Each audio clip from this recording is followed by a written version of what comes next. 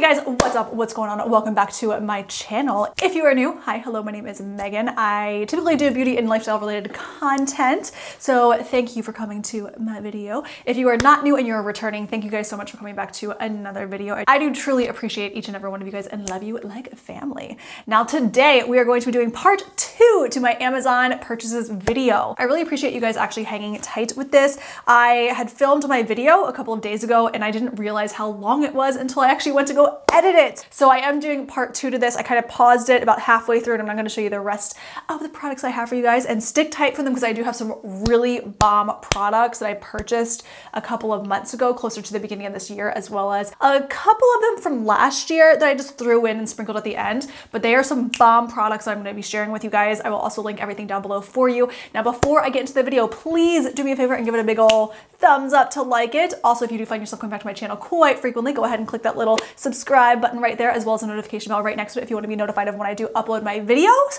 And without further ado, guys, I'm really just going to jump into it.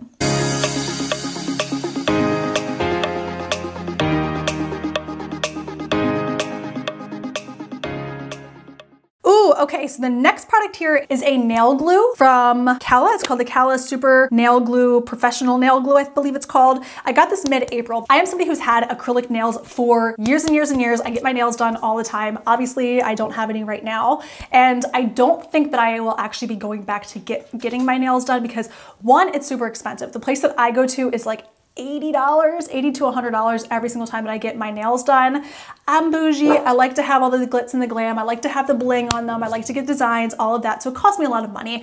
I tend to get a good four to five weeks out of every nail set, but I don't want to spend $100. Honestly, I just got a breast augmentation. You know, I need to save a little bit of money. So I'm doing the best that I can to cut down on unnecessary things. Like I'm not getting eyelash extensions anymore. I'm not doing acrylic nails anymore. I just want to do the nails at home. So I bought a kit of nails a couple of years ago and I still have them laying around my house. And I purchased this glue a couple of years ago as well. And it is fantastic. It holds the actual press-on nails onto your nails for weeks and weeks and weeks. There was a point a couple of years ago where I had press-on nails. I think they were pre-made from like Kiss or from, I don't know, Press On Nail Factory. I'm not, I don't know the name of the brands, but I use this glue as opposed to the glue that comes in the pack of the press-on nails, and they stayed on my finger for a month. I literally had to soak the press-ons off. That's how strong this nail glue is. It comes in a pack of four. I will say, make sure that you only use one at a time because once you open them up, the glue does tend to dry out within a couple of months, but it works really well. I highly recommend it. I think that if you're somebody like me who's like kind of went through this quarantine, you had professional nails done before and you like them, but it was I gotta tell you guys, it was a pain in the rear end to get my acrylic nails off because it got to the point where obviously we were in quarantine for a couple of months. I just couldn't stand the look of the acrylics coming off, so I just had to soak them off, but it took me hours to soak my nails off. And with press-ons, it doesn't take that long. It normally takes about 10 to 15 minutes. You pop them off, you're good to go. So that is definitely what I will be doing in the future. Um, the next thing here is a desk drawer organizer from the brand Mebe. Okay, where do I begin? A couple of months ago, I clearly I ordered this on April 11th. I was in this phase where I was home all day, I wasn't working, I wanted to really do this YouTube thing, so I wanted to get really organized with my makeup and I wanted to ensure that every single video that I was going to film, I was going to go through every one of my drawers, put the products in that I was gonna use for the video, and then put them away at the end of the video. And I was just gonna be super organized, so I figured I would get little inserts to my drawers to keep everything in and one that I could actually go around and just use, put it on my desk so that way my desk didn't get cluttered. And it worked for about a day. um, I'm just messy. I'm an organ. I'm not an organized individual. I've never had the organization gene built into me. I'm not somebody that can just like organize things. My desk is currently a mess. It will always be a mess. I have no need for these drawer organizers, but if you are somebody who needs to have drawer organizers for makeup or for pencils or for whatever you need them for, this is a good option. It comes in a pretty big pack of them, and they I believe they actually shipped pretty quickly. I believe I ordered it on like a Tuesday and it is expected to deliver within three days and it came the next day. It works. They are acrylic drawer holders. Oh, I can actually show you guys because I have one right here. So this was this is a little guy that came in it. They're not as deep as I thought that they would be, um, but, and I don't obviously have drawers in my room. I just have kind of tabletops to put things on. This one just had a pack of three, but it also came in a pack of three of the bigger size. They work really well. If you need some desk organizers, I do recommend them. They work for what they need. I just don't get use out of them. All right, what's next? What's next? Okay, um, I also looks like it looks like I also ordered some Ardell Demi Wispies in here. I tend to just pick these up on Amazon as opposed to picking them up at Ulta or at the drugstore because they're more affordable on Amazon. Ooh, the next thing that I have is a Camkix camera shutter remote. I got so much use out of this when I first picked this product up. I have not been that active on Instagram recently just because of my breast augmentation and I just I really haven't been active on my socials. I really need to get better about it. But I picked this up at the beginning of the quarantine period because I was like, girl, I'm gonna do really good on YouTube. I'm gonna go on Instagram and I'm gonna start posting pictures every single day. But what I realized very rapidly is that people don't want to see selfies every single day where you have your arms extended out and just taking pictures like this.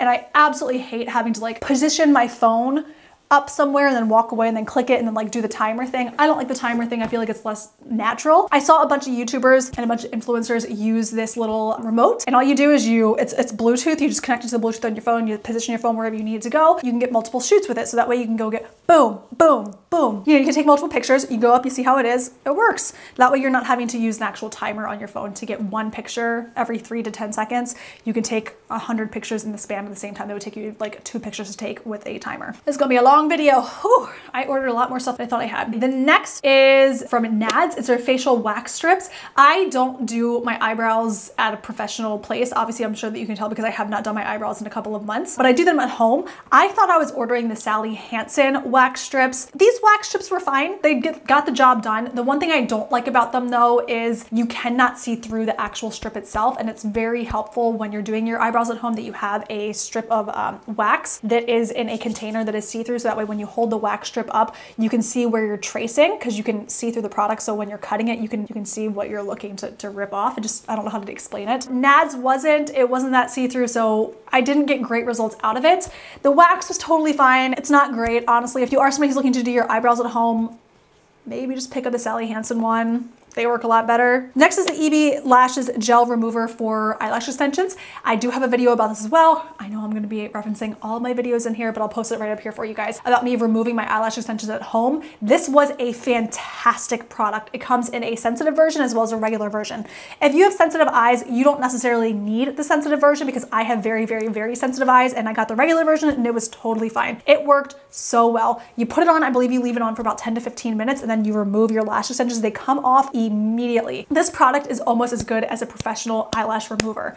I don't see the point in going to an actual eyelash professional to get your eyelash extensions removed. If you just put it onto the edge of the lash and you do it the way that you're supposed to do it, you, it's, it's super unnecessary to go spend $25, $30 to get your eyelash extensions removed. And if you don't know this, if you do have eyelash extensions, you do have to get your sets redone about once every three to four months, as opposed to getting a fill just because your eyelashes start to like fall out at different times. It's good just get a clean reset every once in a while, but they do charge you to remove your eyelash extensions before you get a whole new set. At least most places do. This product worked really well for me. I believe it was around $10.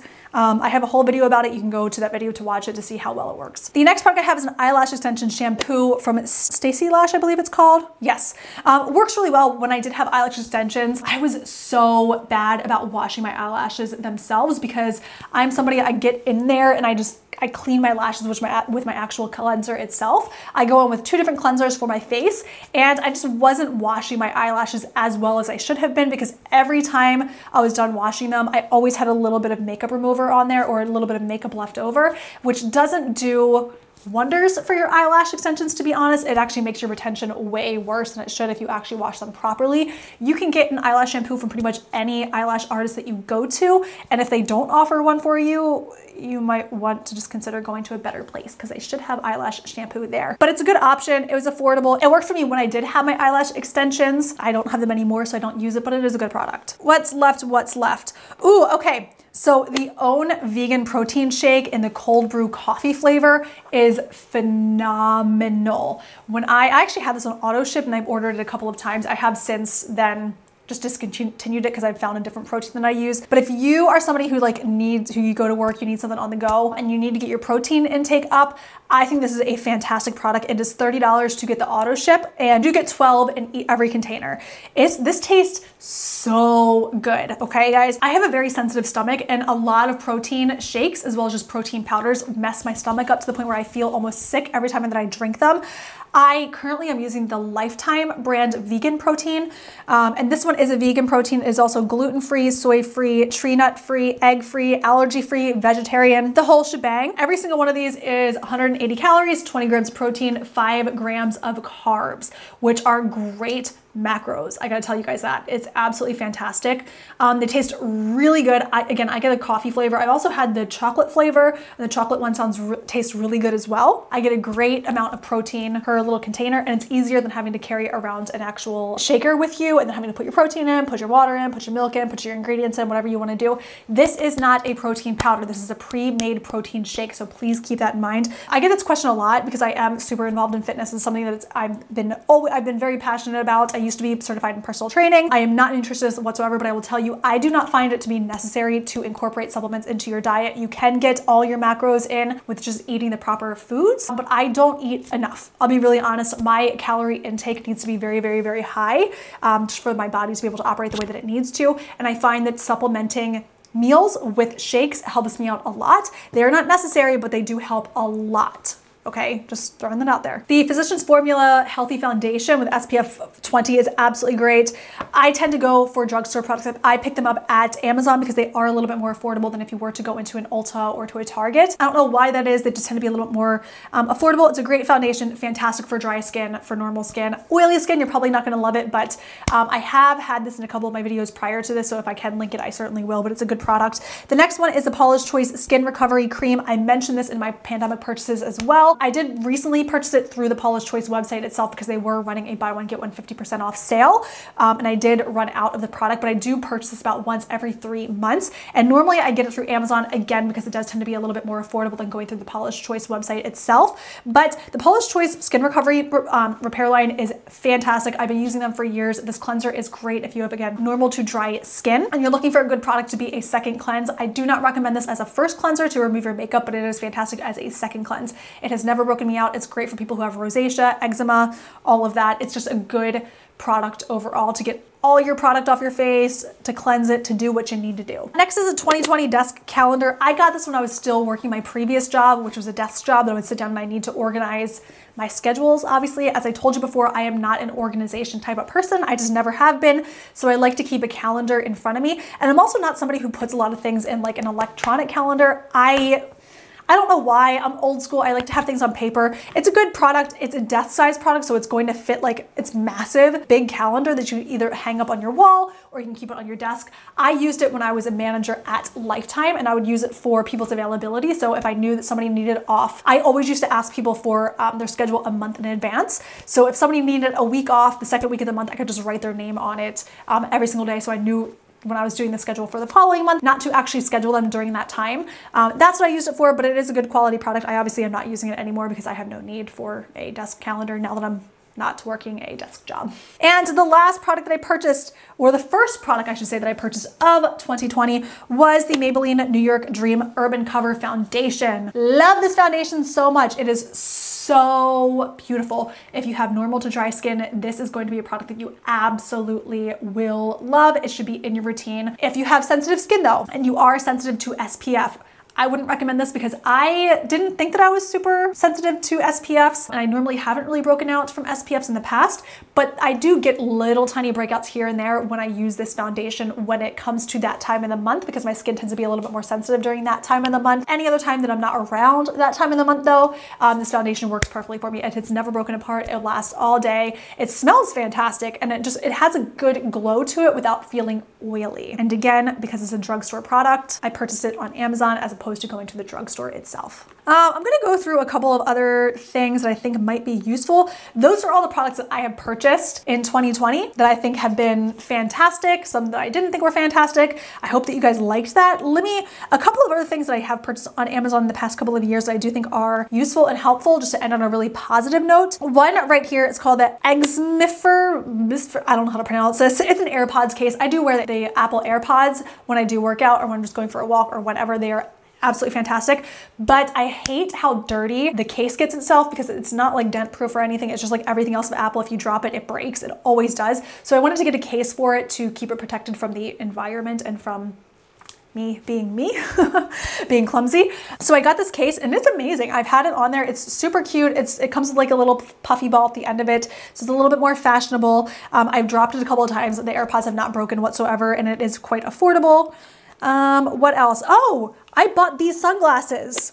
These sunglasses are great. I bought them back in August. This is from Sojos, though the cat eye mirrored lens. These are great because they are mirrored. So when you look at somebody, you put them on, you look at them, they are, people can't see your eyes. I love them. They're fantastic. I have a lot of these that I've purchased on um, I purchase either through Express, I get them at uh, Forever 21. They are super good quality. Obviously, I don't take great care of my sunglasses because they are really scratched up at this point. I've had them for almost a year, uh, but they were really cheap. I believe that they were, they retail for $13.99. They're $14. They're very affordable as opposed to going and buying like Ray-Bans or Oakleys or whatever good quality products are nowadays. I don't know. I don't spend a lot of money on sunglasses. Um, they worked really well. They're great. I've had them for months and I use them nearly every single day. What else? Let's see guys, what else have I bought? I'm, I think that's kind of it guys. I mean, I'm going through here and a lot of things that I order on Amazon are just my normal repurchases. So I, I have reordered the Kodiak protein cakes, the actual mix itself from Amazon quite a few times. I order pretty much all of my drugstore makeup on here, the Revlon foundation, um, all of my lashes on here, my lash glue, other foundations on here. I have my collagen peptides are on here. I will link pretty much everything else in the description box below because Amazon is my absolute go-to for anything that I can purchase at Target or Walmart or the drugstore, but I don't want to spend the drugstore price because even though drugstore is supposed to be affordable, they've been bumping up their prices a lot and I feel like anything that I can get at the drugstore, I can always get for at least two to three dollars less at Amazon. So if you're willing to wait as opposed to going and buying it immediately in person, Amazon's always a place to go to. Okay guys, so I know that that was a very, very, very long, extensive video. If you have made it all the way through, you the true MVP to be really honest because that was a long ass video. Thank you guys so much for sticking around. I am doing my best to get back on a set routine now that I am past the terrible phase of the post-surgery rest period. I don't think I'm actually gonna be able to get it up tonight. I will do my best to get it up then tomorrow if I can't get it up tonight. And then I will have another video later this week. Don't know what that video is gonna be because I didn't pre-film anything, but I will have another video later this week. And then I will pre-film for next week. I do start work next week again, like my actual full-time job because YouTube is not my full-time job quite yet. I would love it to be at some point, but right now it is not. So I will be posting two videos per week. I don't know what that's going to look like in terms of the schedule. I'm thinking it's either going to be a Monday and Thursday upload or a Tuesday and Friday upload. You guys let me know down below if you've made it this far. What do you think? Do you think it should be a Monday, Thursday, or a Tuesday, Friday? Let me know. Thank you guys so much for watching the video, and until next time, have a fantastic day. Bye, guys.